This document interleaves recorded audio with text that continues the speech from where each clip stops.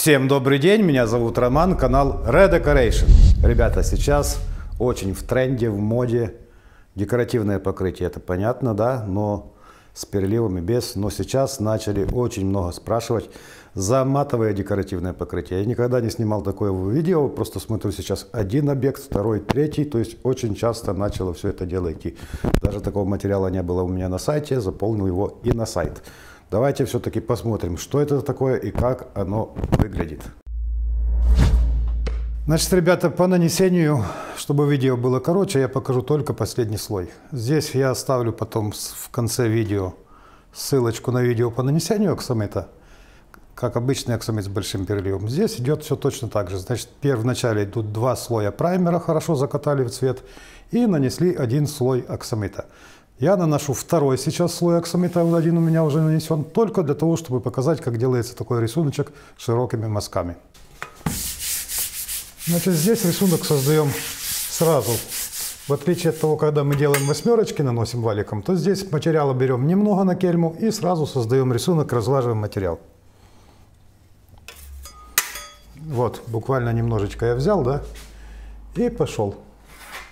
Значит, здесь все будет видно, каждый наш мазок от кельмы.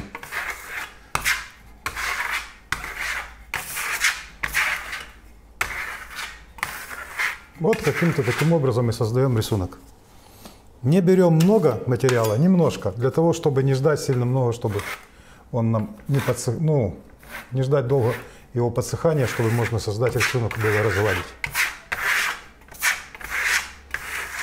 Аксамит такой материал, любой шелк, который при высыхании немножечко как бы садится. И когда вы делаете восьмерки, да, возможно, надо сделать пожирнее. Здесь вот в этом месте, видите, даже сделал пропуск.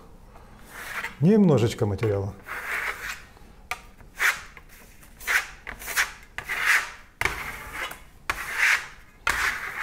Я понимаю, там сейчас на камеру не видно, да?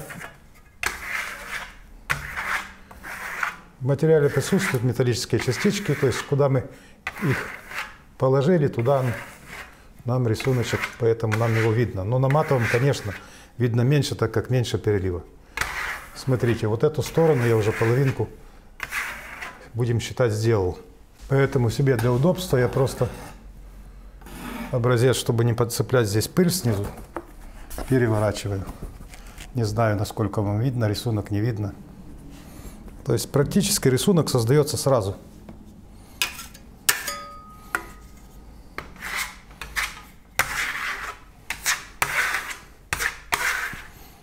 Здесь снизу добавил, так как мне же тоже свет отражает, и сделал пропуск небольшой.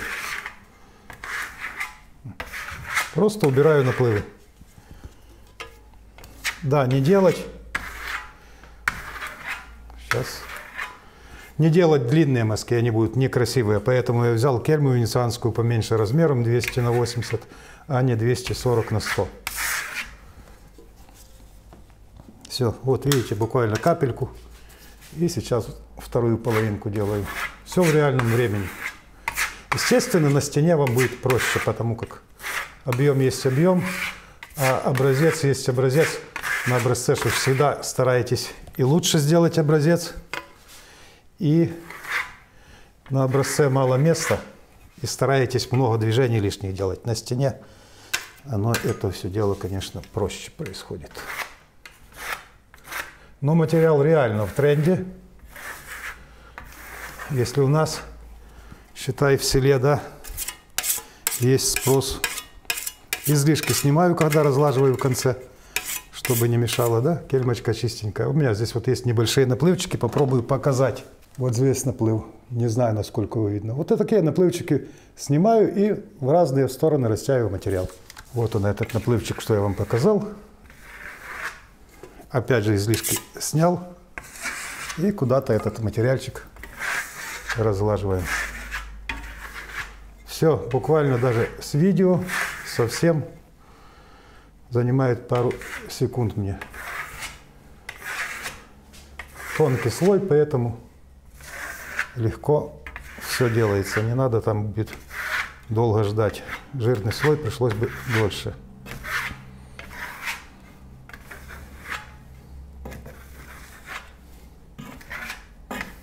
Все. Сейчас буквально подсохнет, наверное, с полчаса и покажу, чтобы в руки можно было взять. Как получилось, попробую снять, насколько будет видно.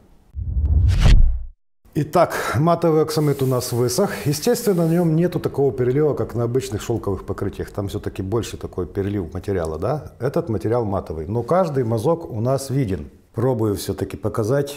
Не знаю, насколько будет видно, но я стараюсь. На стене, конечно, переливчики будут видны больше все-таки. Разные углы освещения. Но вот я, например, вижу отсюда тоже каждый мазочек вот такой вот.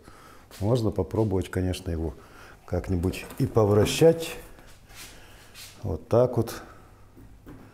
То есть покрытие реально довольно-таки интересное и новое, свежее. Конечно, по желанию все это можно дело покрыть и воском. Кстати, вот этот вот цвет, это уже цвет. Я делаю образец на заказ – на объект. Дизайнеры выбрали такой цвет. Ну вот, пробую так вот еще угол менять. С разной стороны виден разный рисунок. Как оно выглядит на объемах? Вот я повставляю немножечко фотографий, да, с одного буквально объекта. Здесь у нас матовый аксамит в сером цвете. Видите, здесь двери скрытого монтажа, выглядит очень круто. Единственно установлено освещение и подобран угол съемки для того, чтобы было видно рисунок. Выглядит, ребята, реально очень круто. Вот, вот видно каждое движение кельмы. Ну а на сегодня, ребята, у меня все. Ссылочку на материал, как обычно, я оставлю в описании к этому видео. Всем вам удачи и добра. До новых видео.